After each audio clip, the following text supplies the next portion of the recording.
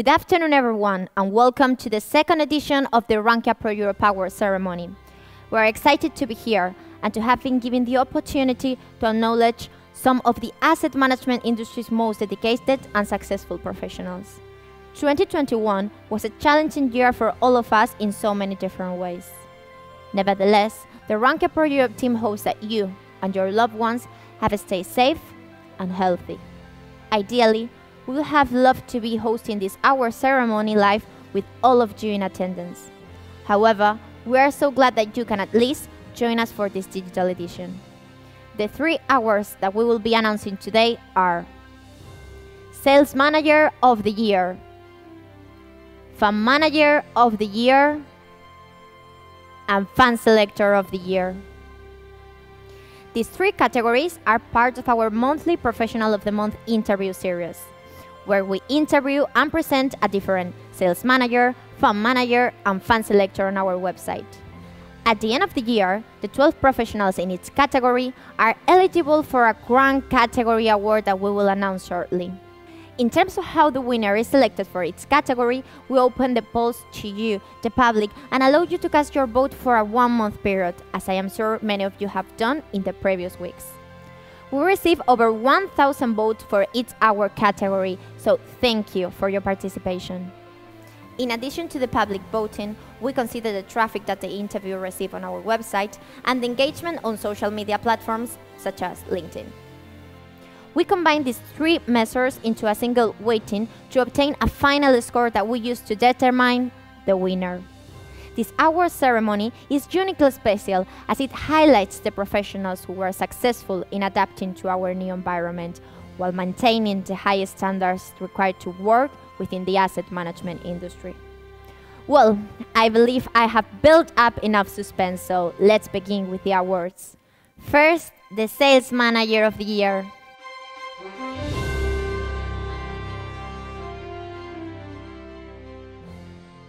For a sales manager, client relationships are a top priority in their daily work.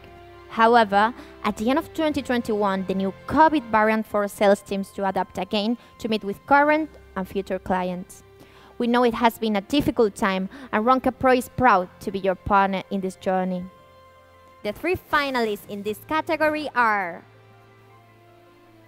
Ivo van der Pol from PGIM Investments, Frederick Niemke from Mirae Asset Global Investments, and Stefania Paolo from BNY Mellon. And the 2021 Rankia Pro Sales Manager of the Year award goes to Frederick Niemke from Mirae Asset Global Investments. Congratulations, Frederick.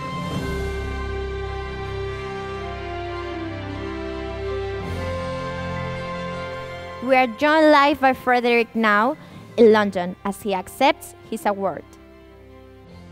Thank you very much, uh, Carla, for this uh, great news. Uh, hi, everyone, and many thanks, Frankia, for this amazing news.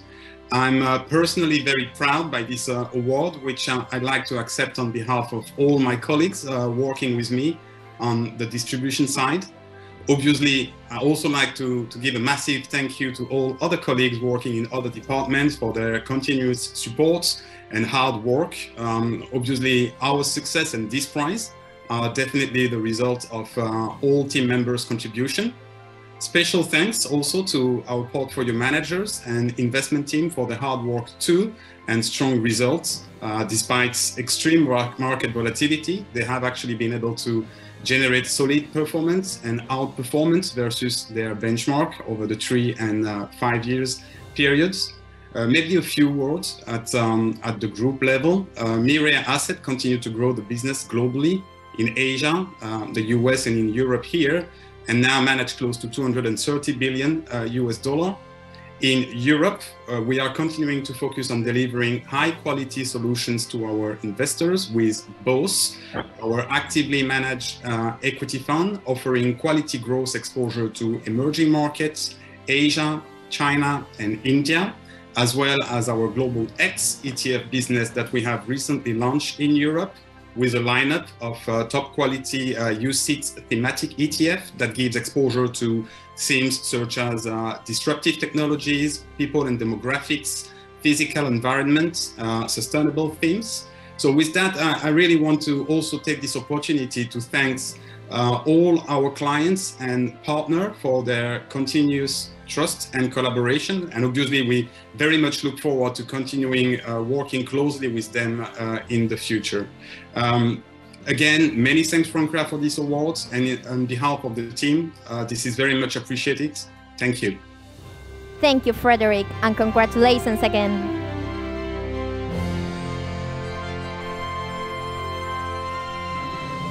Next up, the Fund Manager of the Year.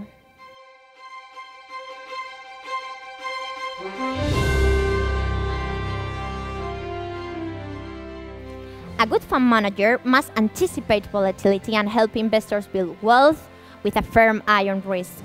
Without a doubt, the 12 nominees in this category have done an amazing job during 2021.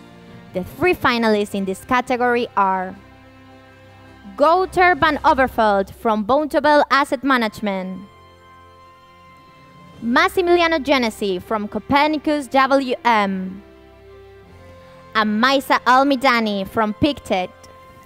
And the 2021 Rankia Pro Fund Manager of the Year award goes to Wouter van Overveld from Vontobel Asset Management. Congratulations, Wouter.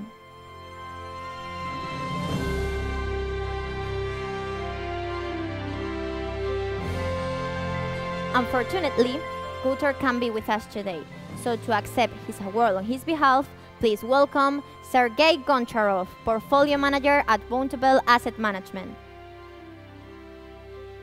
Thank you very much. Uh, it's really an honor to to get this award uh, from such a respectable uh, uh publication. It's really uh, an honor to be specifically uh, marked as, as the fund manager of the year in 2021, a very difficult year, specifically in the world of fixed income. So as uh, investors increasingly looking to protect themselves uh, against uh, you know long-term trends and inflationary scare uh, in the markets, it's really uh, deserving to be in emerging markets, and that's where we, emerging market corporate um, fund, uh, are proposing really decent yields and spreads, and so we are really honored to to have to be able to serve to clients and uh, really it's a pleasure to be marked and uh, regarded by uh, Rankia Pro as the best manager of the year. Thank you. Thank you very much for being here, Sergey. And last but certainly not least, the fund selector of the year.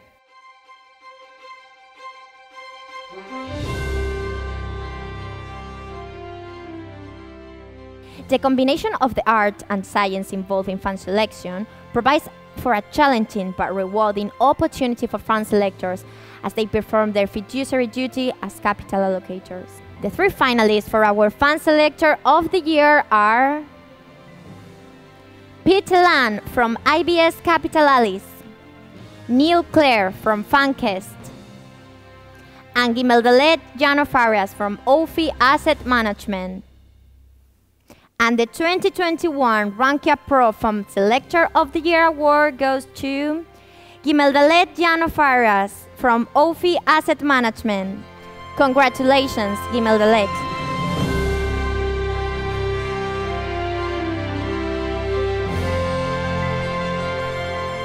We are joined live by Gimeldalet now in Paris as she accepts her award.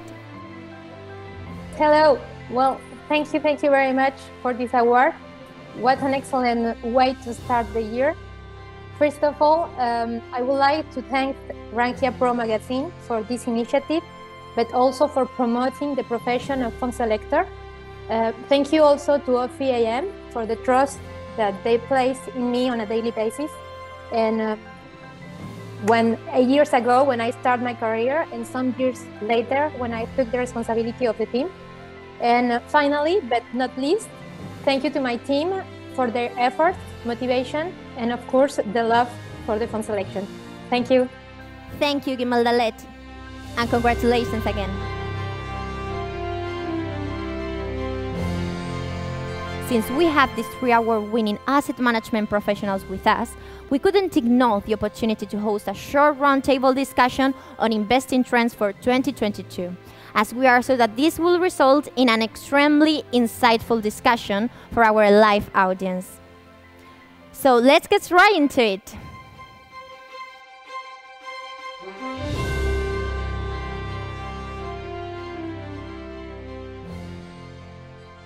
A few months ago, there was a heated discussion on whether inflation was transitory or not.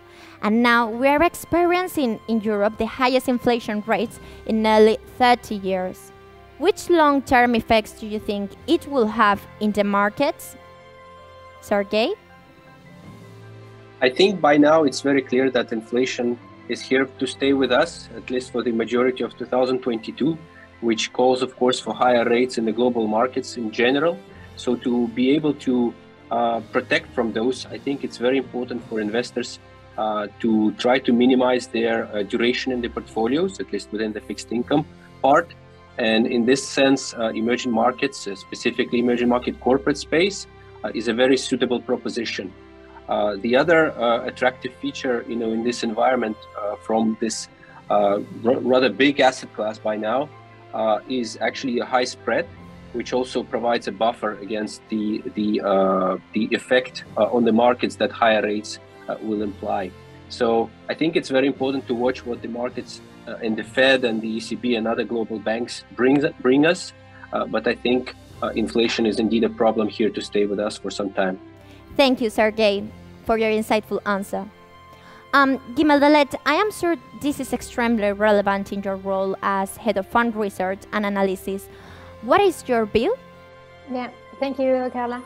It is true that uh, a few months ago, um, the speech of most of the managers was in favor uh, of uh, transitory inflation. Uh, this has clearly changed, and now the consensus uh, uh, pleads for the end of low inflation regime, but without a clear view about the future level of inflation.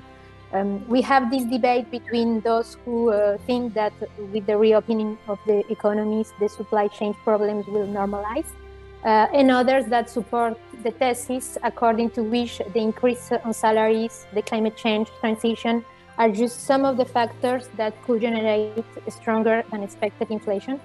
Um, an increase of the level of inflation could be healthy for the economy, and I think that this idea is now well spread among investors but uh, until a certain level.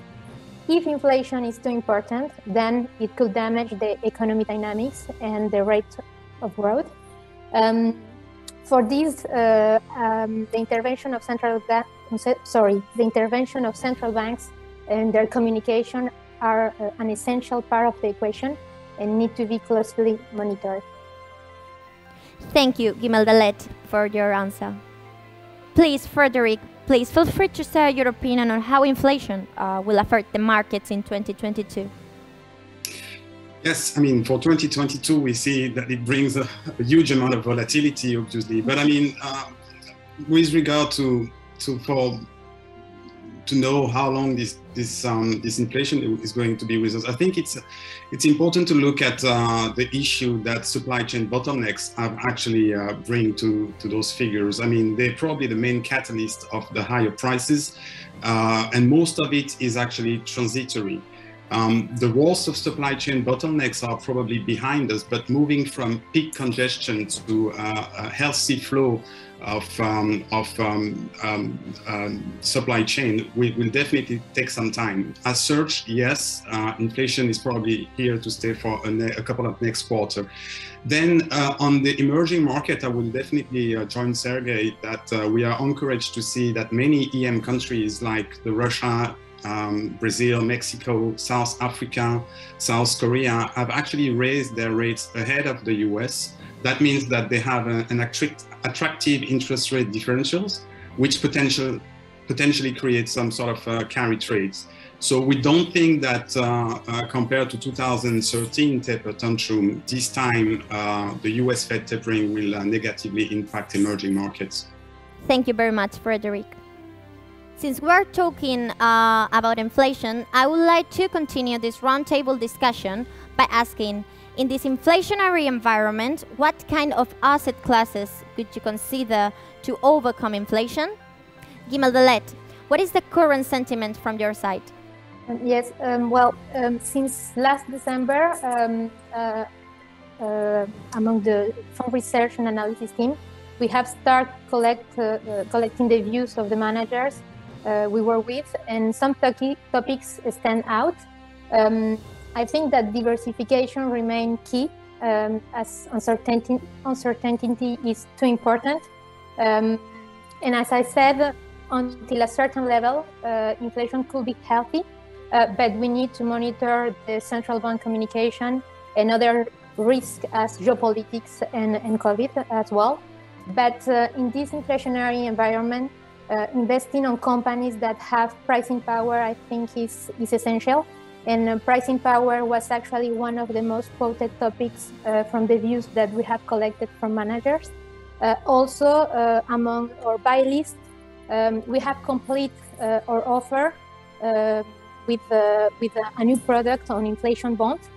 And um, on the diversification side, I think that uh, gold or um, other products that have exposure to precious metals could be a good hedge uh, in, uh, in this environment. And finally, um, as uh, Sergey and, and Fred uh, said before, I think that emerging markets could be also beneficiaries. On one hand, because of the attractive valuation compared to developed markets, but also because of because some of the emerging markets uh, are producers of uh, materials and commodities. Thank you, Guimel. Um, Frederic?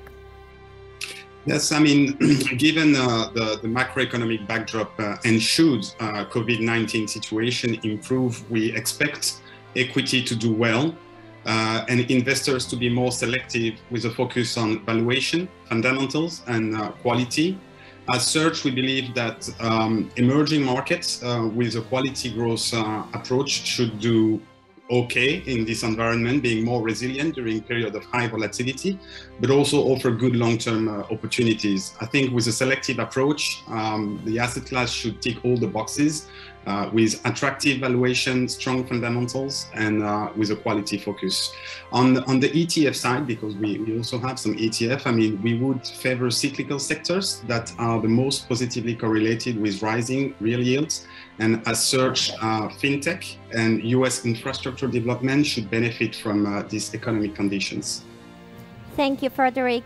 Uh, Sergey? I will agree with both Fred and Guimel. I think, uh, as I said already, so emerging market corporates are an attractive place to hide from this, uh, let's say, inflationary scare. But uh, also very important uh, is to observe, uh, you know, the other geopolitical and you know global risks happening from time to time, be it Turkey, China, Russia, or anywhere else. So uh, from this perspective, diversification is really key because you don't know what will be the source of tension or problem next month or next quarter. It's it's the world has become very volatile and very fast changing, right? So I think uh, it's very important to be diversified. Uh, emerging markets do offer such uh, such an option, and and therefore uh, one needs to be selective, and uh, you know to to of course possibly avoid uh, the problematic situations before they get priced in, but very importantly, I think it's very it's it's very beneficial for active asset managers uh, to take part in such situations when they do occur and when uh, uh, risks get priced in. such as, for instance, in, in Russia or Ukraine, there are some decent propositions already now. so for those, you know, taking certain positions or let's say doing a measured approach towards those, I think it can uh, be quite beneficial long term. And as always, we always encourage uh, our investors to, to, to look long term and therefore through the crisis, be it uh, even Omicron uh, or, or COVID more broadly, uh, or be it uh, you know country level or, or other type of uh, crisis. So I think staying focused on always having opportunities in your portfolio, but in a diversified manner, is is the perfect combination for success long term. Thank you very much, Sergey.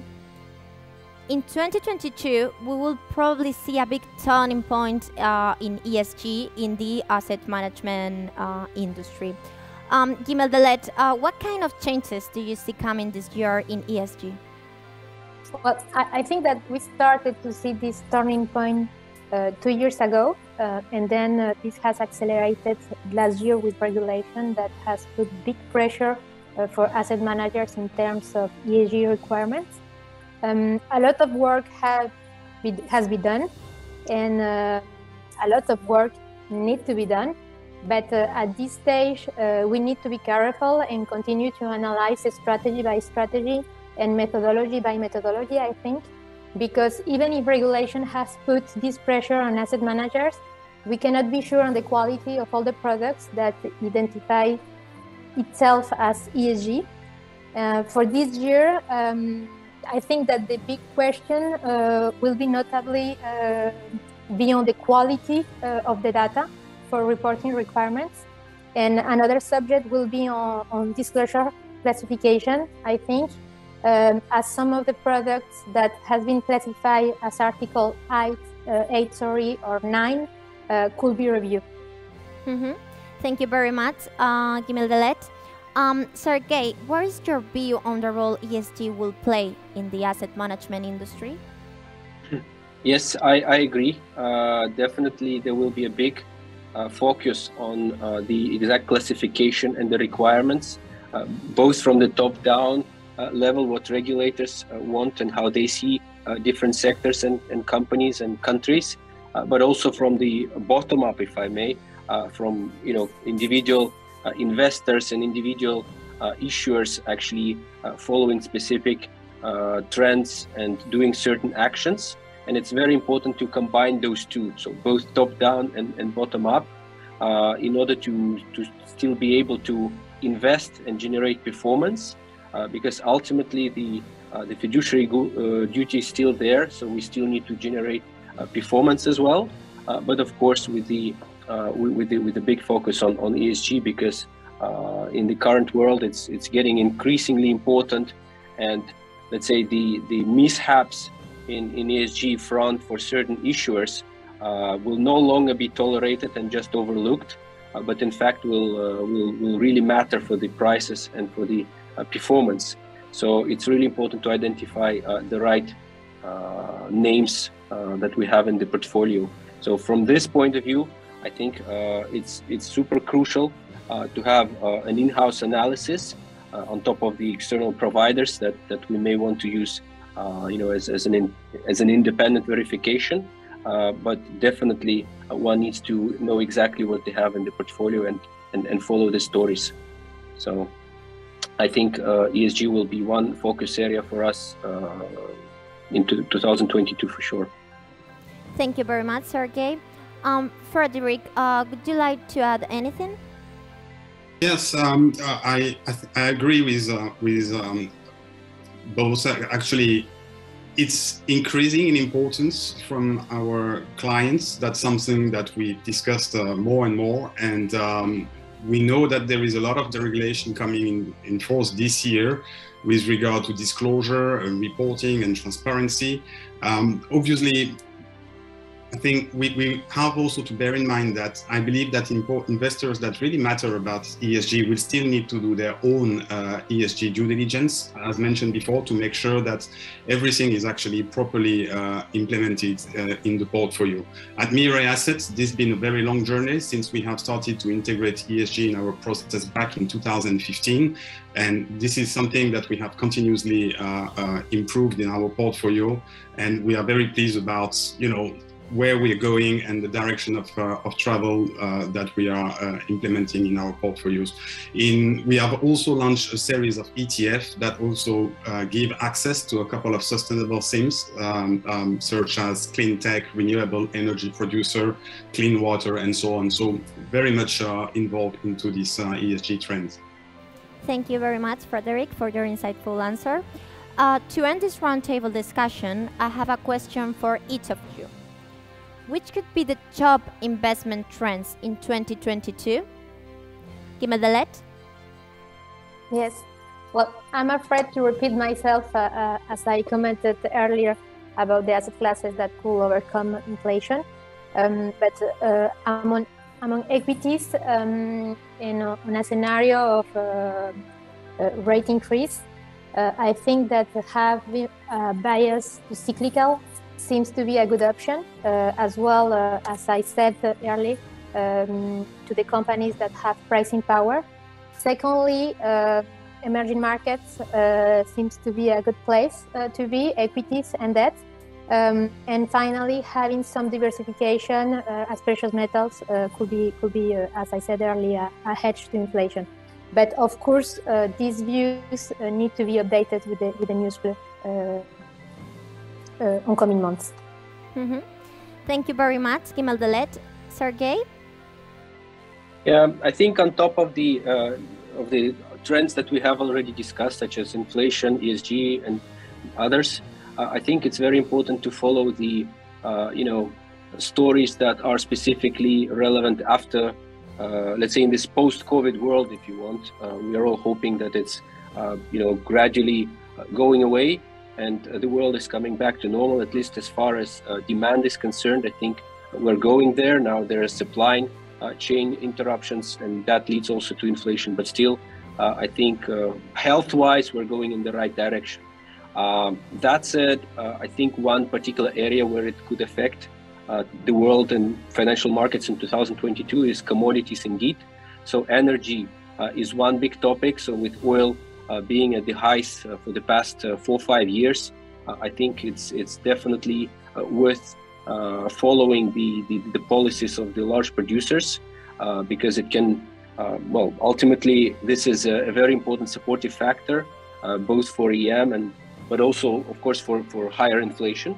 So um, if it changes, it will matter a lot. And then on the commodity, uh, hard and soft commodities, uh, it's also uh, important to, to, to see if there are uh, big evolution uh, or changes uh, around China and Chinese GDP growth. so for now, cyclically, China is, is somewhat slowing down. So there's some stimulus expected going forward. And that could, of course, be a big thing for the first half of, of this year and maybe longer. Uh, so it's it's very important to to follow those uh, trends indeed, uh, and ultimately, you know, this big uh, story about you know fixed income versus equity allocations is is also uh, you know could could this this story could gain a lot of traction because the rates are going up, the equity seems to be well at least visually overpriced, so there will be many people asking questions, you know, what they what they do for their in their portfolios for the next two three years maybe. So it's it's uh, 2022 will be a very uh, important and interesting year. Thank you very much, Sergey. Um, Frederic, uh, are you optimistic about the outlook for 2022? So uh, I'm, I'm going to echo uh, um, both of them. That's very true. Diversification and sticking to uh, to, um, to, to to the long-term view. I think it's important. And in that regard, I would say that uh, I would see that using short-term volatility uh, to build long-term exposure to quality uh, um, company in emerging markets that get exposure to structural themes such as financial inclusion, healthcare, uh, discretionary spending, mobility, obviously including the tech basket with 5G uh, penetration, cloud, AI, and EVs is is, uh, is probably a good opportunity should you have a long-term uh, investment horizon. Thank you very much, Frederic. Uh, well, Frederic, Guimel Delet, and Sergey, uh, thank you for your time and, and insights. It's been a privilege uh, to discuss these topics with you. Congratulations again on your award. Thank you. And thank you to everyone who joined us live uh, for the second edition of the Rankia Pro Europe Award ceremony. We look forward to seeing all of you at our upcoming events. Thank you.